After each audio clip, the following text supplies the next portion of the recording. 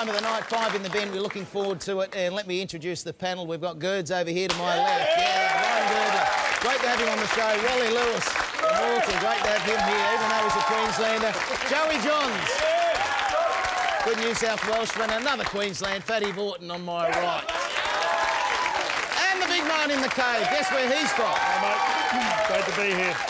All right, five minutes on the clock. No surprise, we're going to talk about Origin. This is history in the making for New South Wales if they can win, and history in the making if Queensland win. But first up, Girds, I want to talk about this eligibility to play for New South Wales or Queensland. I know you've got some pretty strong thoughts on that. Yeah, look, it's obviously a grey area in the game at the moment, and um, it's all about state of origin. So I believe origin is where it began for you as a kid, growing up, sort of representing your family, your friends, I mean, your school your local junior club. And I mean, you see the guys at the start of the Origin game, they stand there and they say, you know, Brett Stewart, West Wollongong.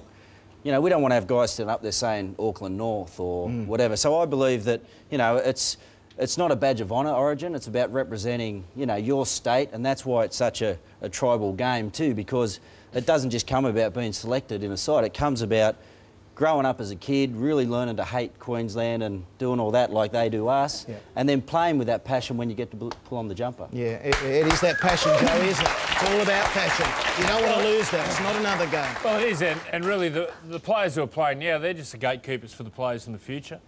And um, I know when I, I was playing, it was, it was, a huge honour to follow in the great halfbacks who, who I watched go before me. And uh, look, I think at the moment, we need some really strong leadership on this. I think mm. a, a, line needs to be drawn in the sand and we need to sort it out, and that's where the in, independent commissioner can really come in and mm. make some really strong leadership. Mm. Yeah, it's right. got to happen soon, Joey, hasn't yeah. it? Yeah. I mean, well, it must be hard for the for the Kiwis who are playing. No, you can't blame them. You can't blame them. They want to play Origin. It's the best football you can and, play you know, in the world. People are going to say the 50,000, but it's not only 50,000, it's a spectacle, the, the exactly. opportunity to play yeah.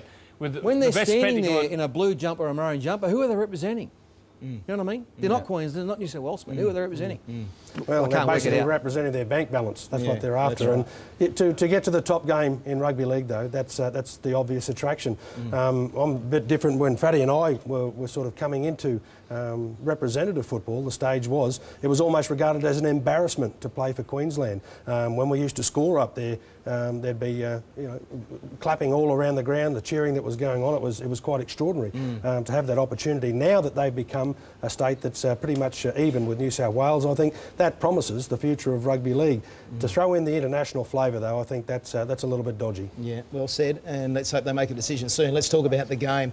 Queensland, they went in with 20 in the squad. I don't think we've seen that for a long, long time. We've seen the decision that Billy Slater's not fit, so Inglis goes into number one. There's uh, some shuffling. Are you nervous about that? Is that going to derail them at all or, or make them have a structure that mightn't work? Uh, you feel uncomfortable when you get a bloke that's um, won the, the world's best player uh, award. Um, to take him out of the side certainly is going to be uh, a little bit of a, a, challenge, but it probably offers uh, Coach Mal Meninga uh, a real chance now to entice the players to prove that they weren't a one-man team. Mm. Um, they've proven that in the past. Uh, when Darren Lockyer didn't play the series, everyone expected New South Wales were going to comfortably win that game. That mm. wasn't the case. Uh, mm. Queensland took the series, so it is a real challenge for them. Um, if they've got one bonus on their side, despite having him unavailable for the game, the match is being played at Suncorp Stadium. Mm. Fatty, on the radio this morning, you said you were nervous.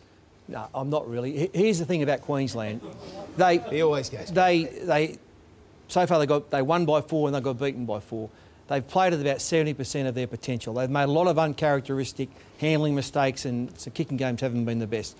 I think if they get anywhere near their top, then they will win. Mm. Simple as that. Uh, big man, Dave Taylor, is he going to yep. play? Well, Slats, I hope he does. I hope he's on the bench. I, look, I, I, know he had a poor game in, in game two, and the, the is he's not going to make the squad.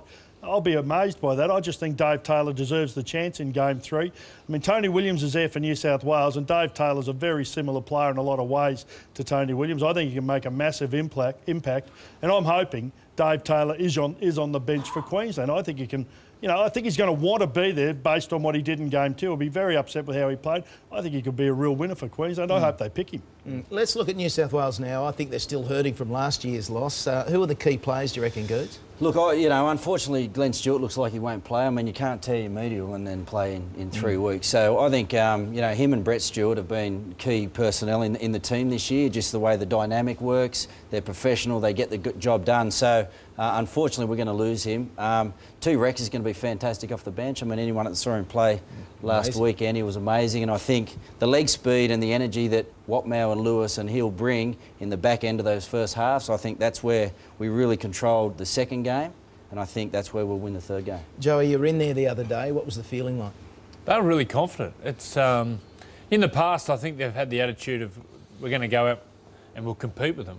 I, I generally think that they're going to win the game. They're, they're a really relaxed lot. Um, I think they feel like the, the tide's finally turning, and this team has been together for a while now. The combination, so you know, I I think they're they're in for a massive hope. Mm. All right, well, that's the five minutes.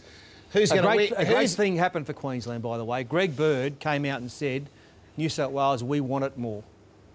Mm. Not going to help them. Mm, I just think they want it. I just think they want it a bit differently. I think that if you've lost six series in a row, you know you're hungry. They got scarred last year, and you know if you've had successful series of six wins, maybe you just forget a little bit what it's like to lose one. I just think it's a different desperation that New South Wales have, and they've showed that in the first couple of games. And the media can get it wrong a little bit, but you know I think they're going to go out there and give it everything. Yeah. Yeah, all right, there we go. Five minutes in the